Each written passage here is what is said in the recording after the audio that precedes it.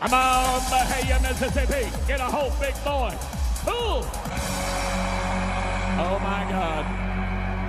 Four perfect steers in a row. That boy's tested for a world title, Doug. So that 4.1 is going to move to the top for Will Lummus. And we're going to try it again with an no.